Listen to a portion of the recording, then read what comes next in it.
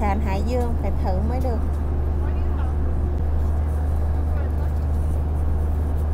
Bánh lá gai cái gai ở Hải Dương nè. Ở đây ở ngoài là một lớp lá nè, hai lớp lá nè, ba lớp lá nè, bốn lớp lá nè, năm lớp lá nè, sáu lớp lá luôn. Nó nhỏ xíu xíu xíu vậy thôi. Như một đống lá.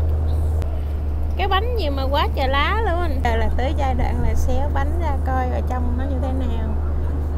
Cho chút có một tay à.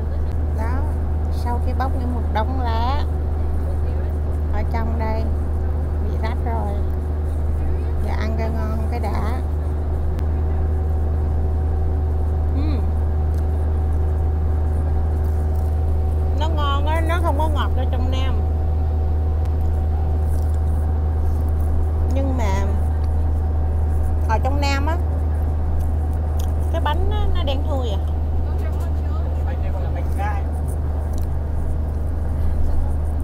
Còn cái này là cái lá luôn nè nhìn kỹ là cái bột đó là có cái màu lá màu tự nhiên. Rất là ngon luôn.